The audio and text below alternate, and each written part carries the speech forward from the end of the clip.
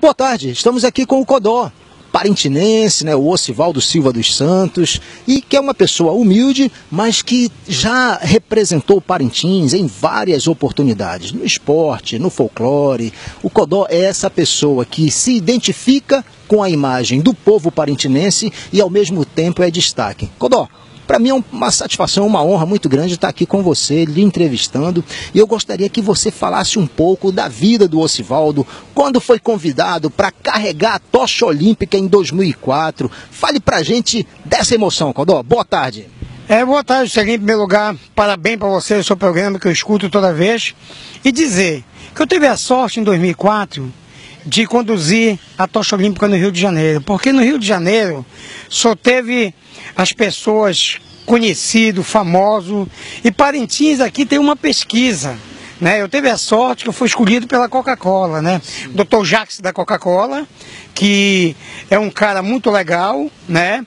E quero dizer que teve a felicidade de estar no, em 2004 no, no Rio de Janeiro. E está aqui a, a tocha tem uma frase, Codó, que, que é a sua cara, que é a sua marca, né? Qual é a frase? É aquela frase, quem ganha os Parintins. Sempre você fala isso. Né? Sempre eu falo isso, aonde eu estou em qualquer canto do país, do mundo, porque é onde, qual é a cidade que eu moro? Parintins. Nasceu. É. Então eu estou muito feliz. Eu estou feliz porque eu continuo sendo mesmo Codó.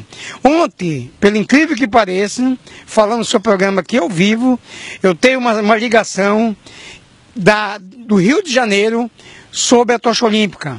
Me comunicaram, viram meu nome lá, que está, e de repente, pode chegar o convite, se de repente eu for, eu estou muito feliz, porque ela vem no Brasil, ela vem em Manaus e vai correr o mundo. Codó, agora me fala sobre o, o, o Codó, o Codó que, que também trabalha o futebol, o futebol master, as quadrilhas. Você tem uma quadrilha tradicional em Parintins também na época do Festival Folclórico, né? É, tem, né? Ela, ela todo ano ela muda de comunidade. No passado a gente estava no Maranhão, brincando na comunidade do Maranhão. Nós fomos em terceiro lugar e já demos mais de 20 comunidades, tá entendendo? É uma quadrilha que brincou em Barreirinha, em Taquatiara, em Faro, em Amundá, quase todas as comunidades aqui do interior. Então, esse ano, se Deus quiser, é, eu teve o convite também de Terra Preta, eu vou ter uma reunião lá, tá entendendo? A comunidade. E até porque o trabalho que eu faço é a parte social. É o social. É o social. Tem um time de marcha também, Exato. que é o Estrela, que é o Jogo também. Uhum. Tem o, o, o, Boi Caprichoso, que eu trabalho no Caprichoso. Hoje você é artista do Caprichoso? É, hoje eu tô no Caprichoso, né?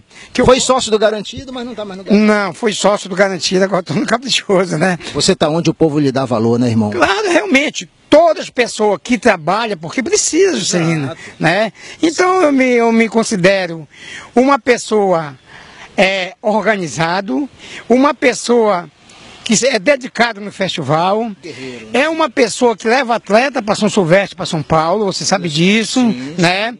É uma pessoa que já teve na tocha olímpica, é uma pessoa que eu sou presidente da Liga Desportiva de Parintins do Estádio Tupi Catanede.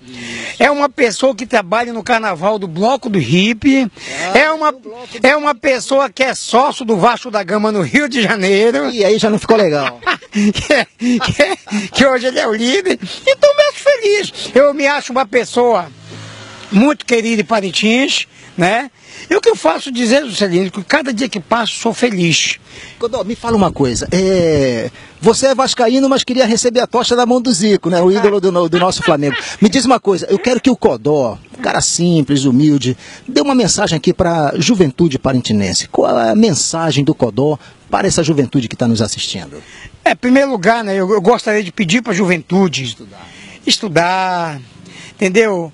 A nossa Parintins avançou na droga. Eu ando, vejo por aí, é triste.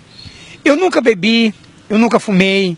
Dia 18 de julho, eu faço 55 anos, feliz, feliz, que não tenho reumatismo, dor de cabeça, dor de ouvido, dor de orelha, não tem nada. E jogo bola como um mim de 18 anos. Então é mensagem que eu deixo para a juventude.